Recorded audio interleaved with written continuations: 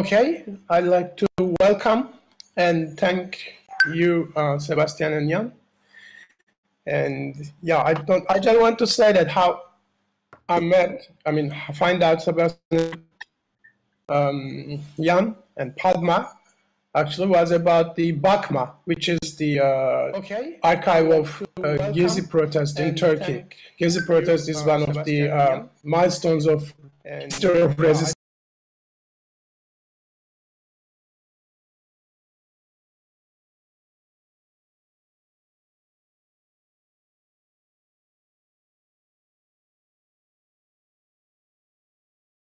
I'm not quite sure how that uh, how you all feel, uh, but maybe we start with that and see where we go.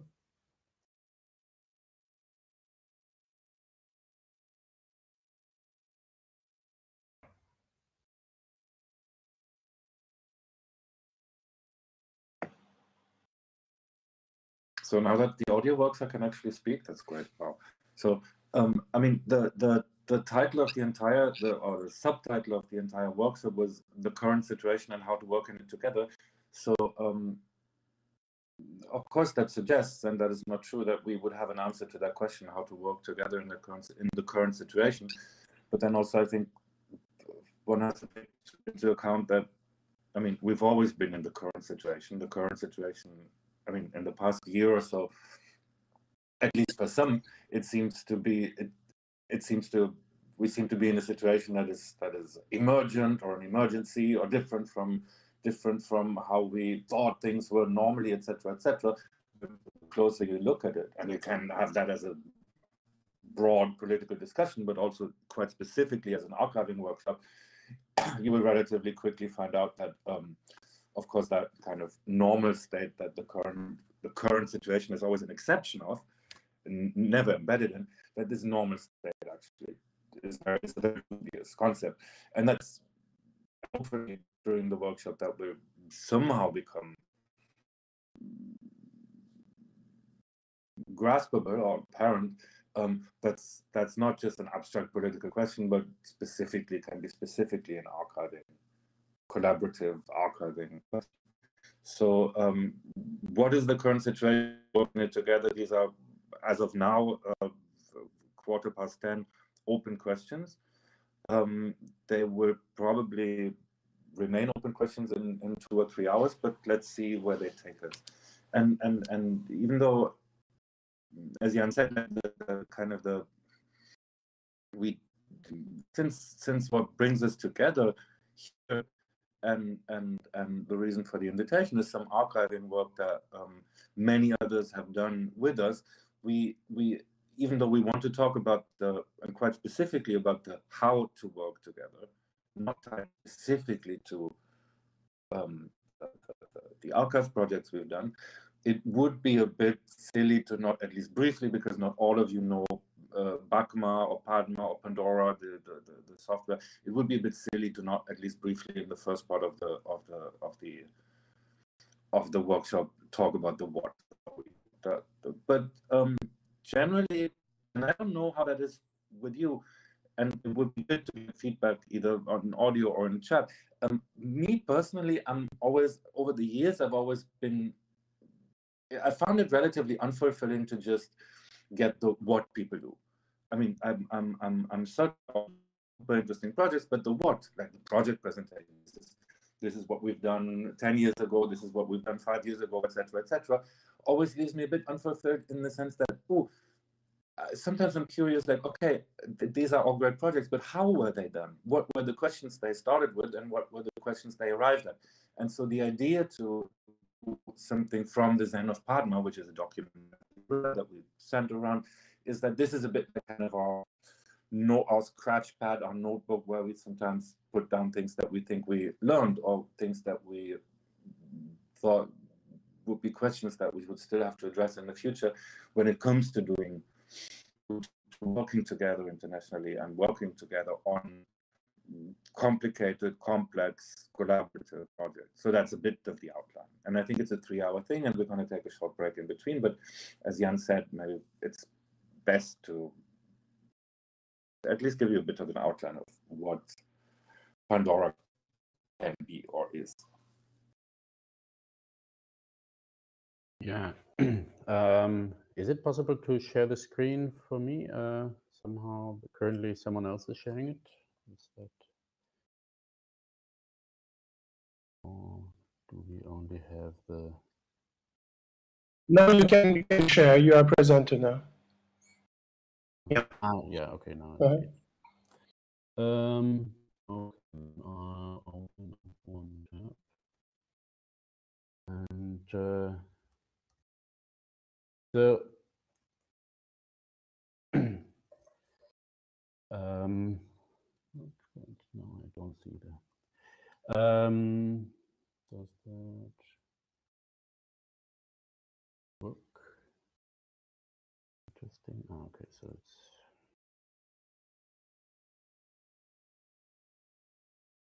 Um,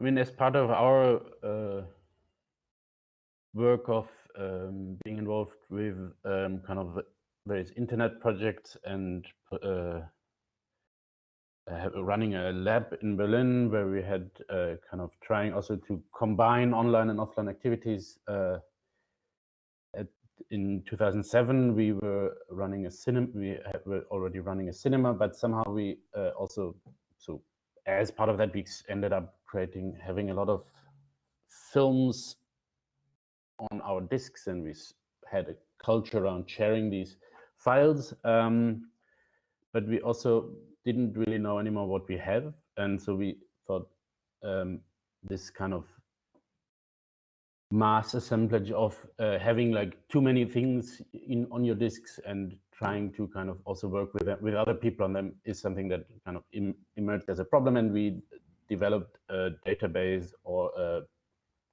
a system to work with these things be, that goes beyond um, just having the files and beyond just uh, maybe sending them around but and at the same time it we are not it wasn't enough to just have an, a catalog or an index that uh, others have where you just um, have a reference to the file to the movie that says okay i have this movie or this uh, video but, and then maybe some text around it but you cannot really see the video itself.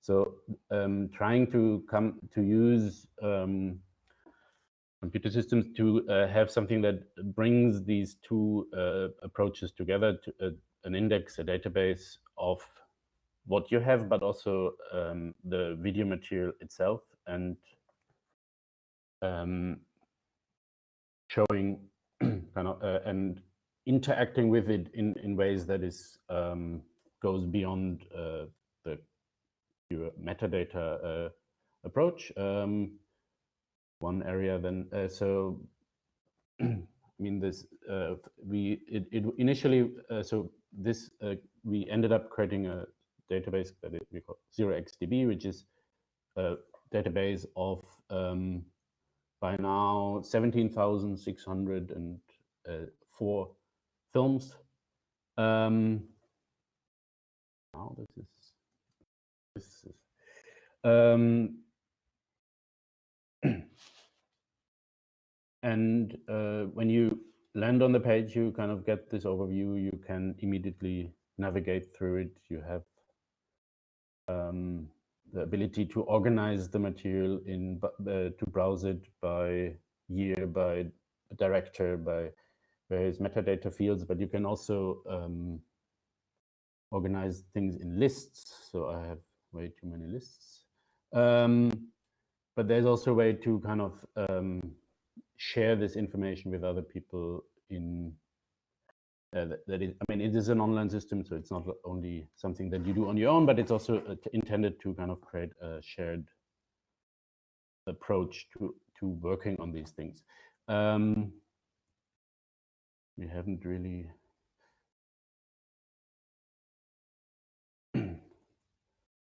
um, but obviously, um, okay, at this time, I mean, so far, this would be just kind of okay. You have a film, it has a poster, but it's not really much. Uh, it's very much decoupled from the actual video. But as you kind of click on one of these items, you already get a preview in the lower um, part of the film uh, of the screen that kind of shows you a, a, a scene. But you, as you kind of hover over it, you also immediately jump into the film. So this is very close. But uh, we also see this timeline at the bottom, which kind of is a visual indication. And these are kind of areas where we then have kind of also come up, we came up with new ways of um, looking at the video material.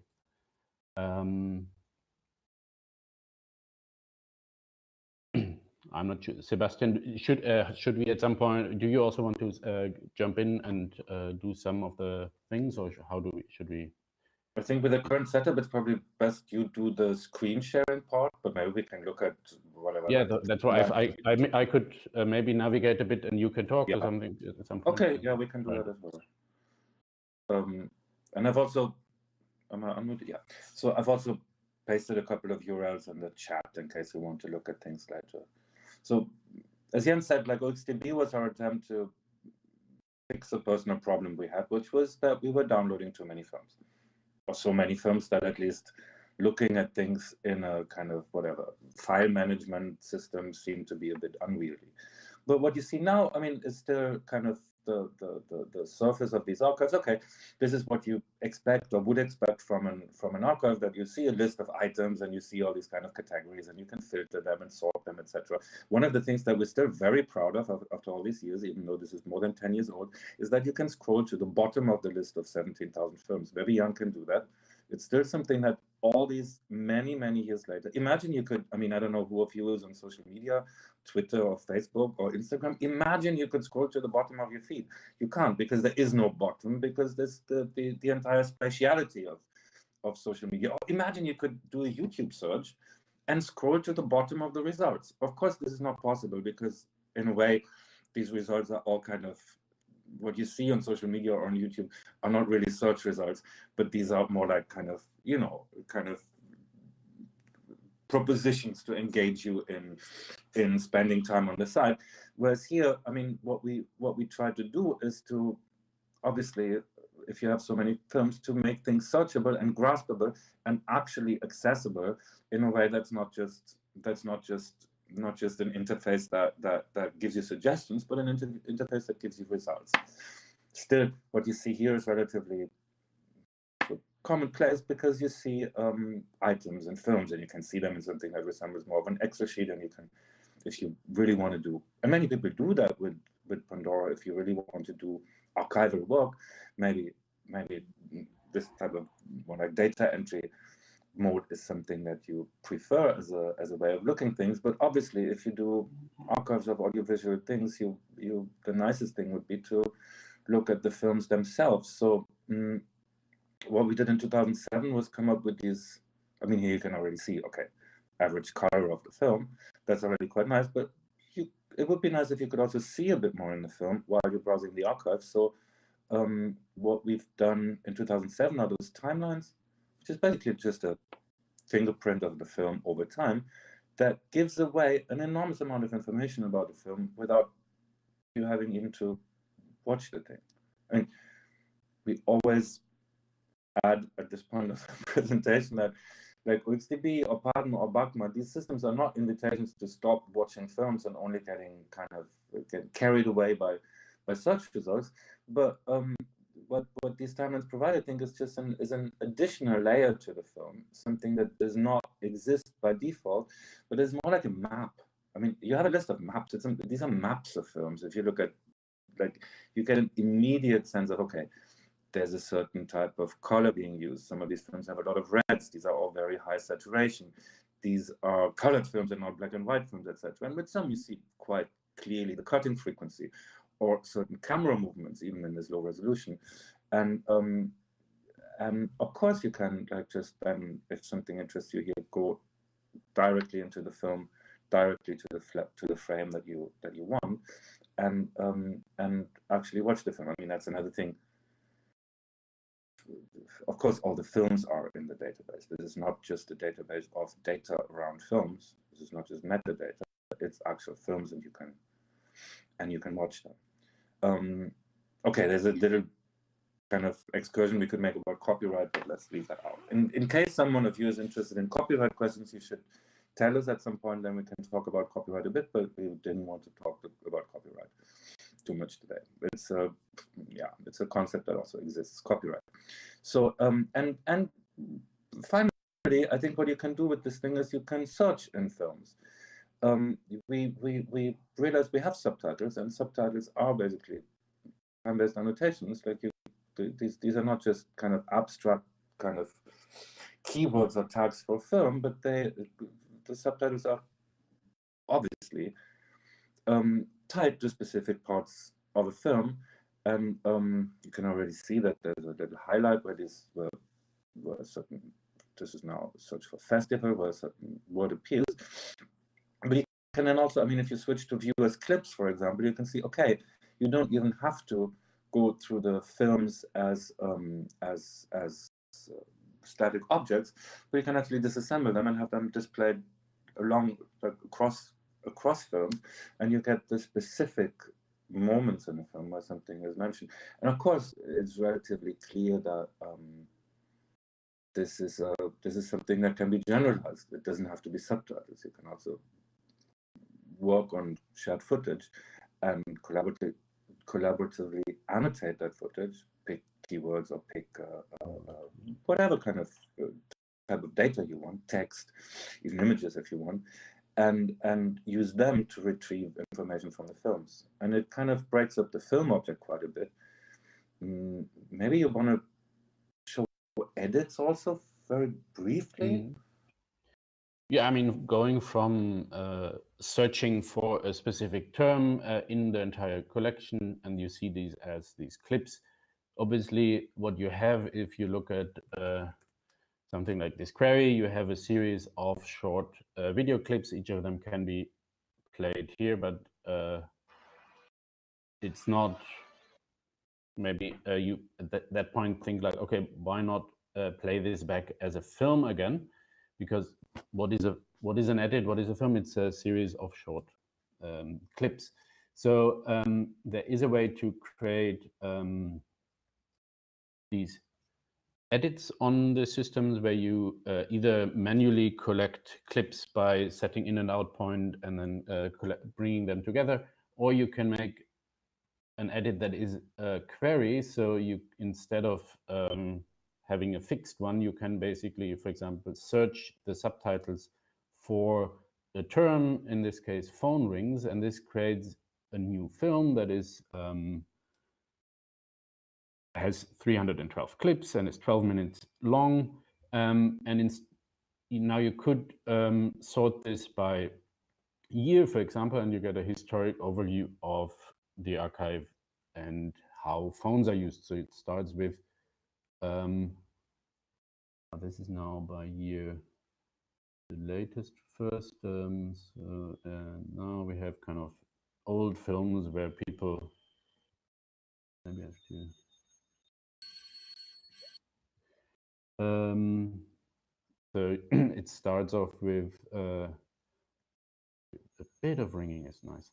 Um, people picking up phones and uh, being like this whole thing. But as we uh, go through the history of uh, cinema, we kind of go to, we see how phones appear in different locations and eventually there will also be mobile phones and uh, kind of maybe like this. So, um, in some ways uh,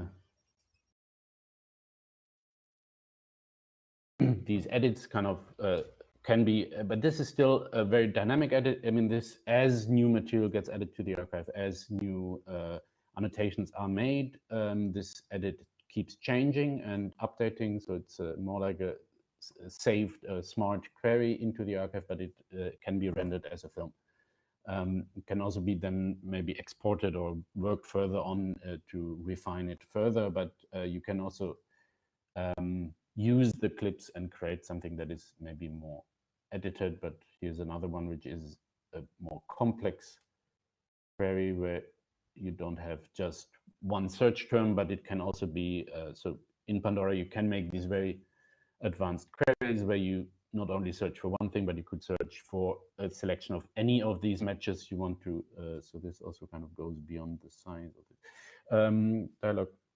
But you could say, okay, there are these different terms that I want to look at. Um, and then you get a result which is also 23 minutes long and um, is kind of the relation of getting in and out of cars in films as a crossing point where you uh, usually have some form of tension where people are trying to eagerly get into the car or get someone out of the car. Um, and it is one of these tropes in cinema, so it opens up a, a, an interesting view. But you could also, yeah. So I mean, these are different ways of uh, that we have used it in uh, OXDB, but um, this can also be um, more um, uh, more an attempt of kind of working through a collection uh, where you have maybe done more annotations.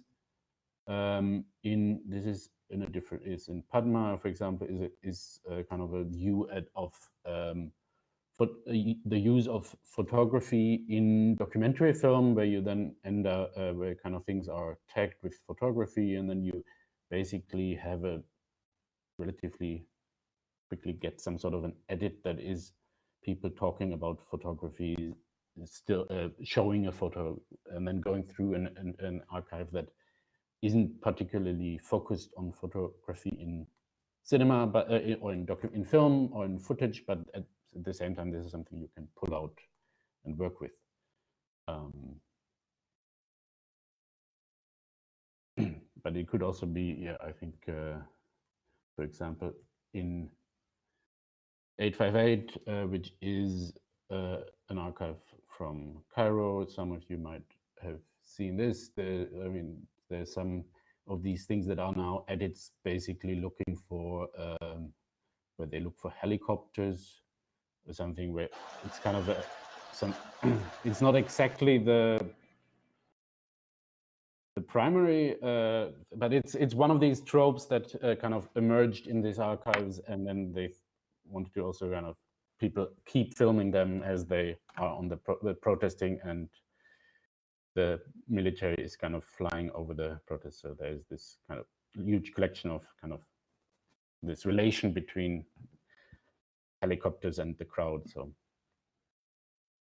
um, yeah, so these kind of can become very different uh, access. But what, what is important about the, uh, what is also interesting about these edits is that they are not uh, fully new films that are just sitting on their own, but they can always be linked back. So as you pause the video, you can always jump back to that clip it comes from, and then maybe see it in a larger context and understand kind of where this is uh, in the case of an archive like 858, it is you jump into this document that kind of is a, a protest in Cairo, um, but uh, in, on 0xDB you go back to the film and you see kind of where this uh, other uh, where it's kind of coming from.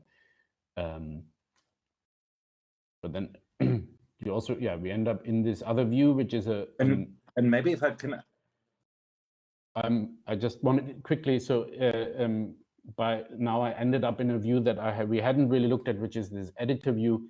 This is also where you could add new annotations or refine them, remove uh, this tag. Uh, so with the subtitles, we obviously get them from uh, existing sources. We import them as subtitles, but uh, these keywords or um, other annotations are kind of created by people working with the material by setting an in point, setting an out point, and then adding a new description here. Um, and then it's kind of in there and for any, anyone else to see. And this can immediately, again, be used in these inquiries in edits and so on.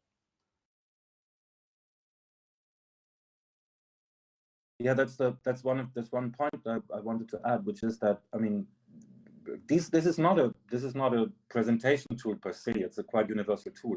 And this is not that like you have to run it. You as an archivist or as someone who runs a pandora website um, does these presentations. Anyone who has a user account can do these things. You can annotate you can write on the video you can make your own edits and they're no different from the ones that you find. So it's a and and they don't have to be in the way of each of each other. Like many many different people can use an archive like this for many different purposes. They get aggregated; these keywords and annotations get aggregated, um, uh, uh, as you can see here in the editor view. But it's really something that I mean. My impression was always that if you if you're browsing a film archive, you're kind of already making a film in a way. You're already making a film in your head. You're already making associations, and you're making combinations, you're making cut, you're making montage by looking at such a big archive of footage. Even though usually you make it in your head, and doing it in your head is fine.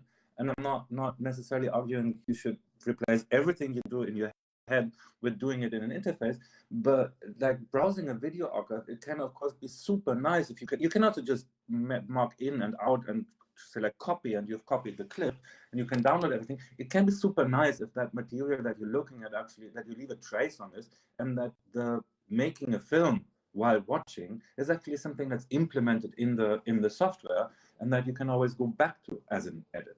So that was kind of, and it's not something that is limited to researchers or something. It's the main function of the archive. So everyone who visits the archive and has an account can can do all these things.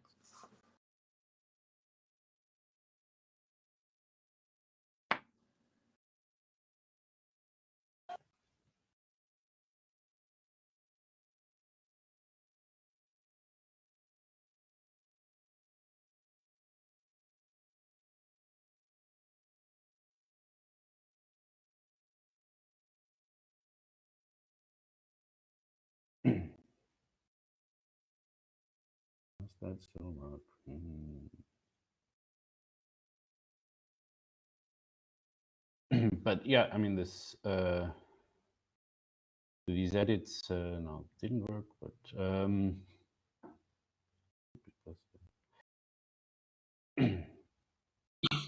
but generally, yeah, this uh, I mean, also like, yeah, so the, the video material that is in these archives is no longer just this idea of a film that is kind of this fixed element, but it really becomes a resource, uh, something that is broken into each uh, individual frame. Each frame is addressable. Each frame has a URL. Each frame is kind of, can be downloaded as a video, uh, as a image, but can also be embedded you can start the film from any moment, but you could also have a clip that you want to link to.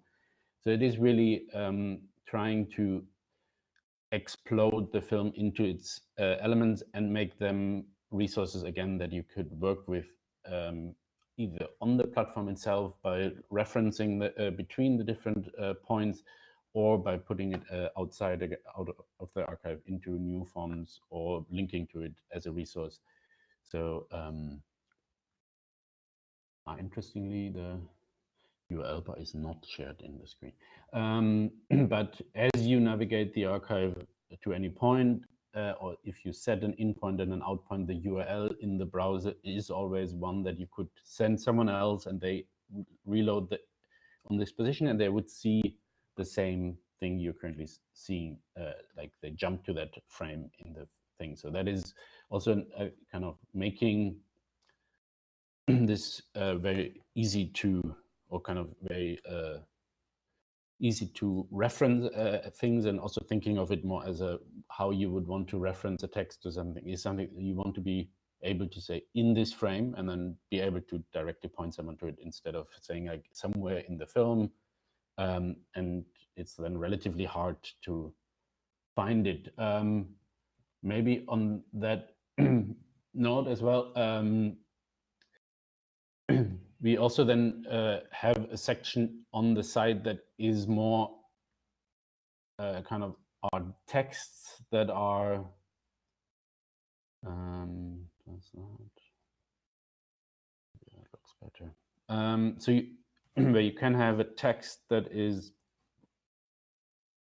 uh, a text, but in a text you would reference a specific scene and link to it and show that on the side uh, where the text becomes the primary resource and the video material is more an annotation to the text as opposed to the videos being annotated by text. Uh, we have text being annotated by video footage um, and you can play them alongside. You have um, these things um, and this could be the basis for a future film. In this case, it's kind of a script for a film with the references that then eventually becomes a film.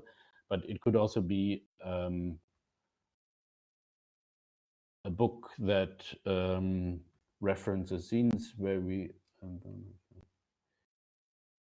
So if you take uh, like something like uh, the movement image, um, and then you see, okay, there there are references to um, hmm, uh, directors, and uh, but also maybe the, I mean, there's kind of this kind of scene. Uh, work?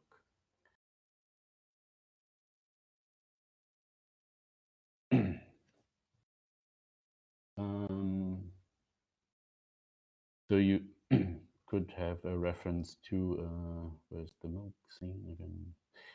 Um, now, this is also kind of we you then have to find this. Uh, if someone just references it, it's not so easy to kind of find the scene again. But uh, it's also on a platform like this, you can kind of enhance and exist an older text by kind of um, linking back these things and making this kind of not only a reference from memory, but maybe then also directly look at the scene. Sometimes you then find out that these uh, texts about cinema are not referencing films in the way that they had a database like this, but they maybe saw the film and then later remembered the film as they wrote and then reference it from memory. And then these memories can be also slightly distorted and uh, maybe there is a, a, reference to something that doesn't quite work or is slightly different in the film. Um, I don't think. Well, this one kind of this idea of the, it's a relatively short scene, but then in, he kind of in his memory is also kind of he remembered some sort of zoom out, which is not quite there, but um, or maybe we have a different edit of that. Um, but uh, yeah. Um, and of course, if I can add, like this also works in the inverse direction. So you can then also, you can do it automatically or manually, attach this kind of textual information to a film again. So for a film, you could see, okay, these are all the scenes that are referenced in other texts these are all the kind of the, the, the, longer pieces that deal with a specific scene and then accumulate them.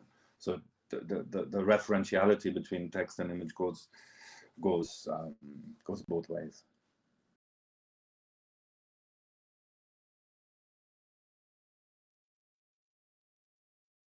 Mm.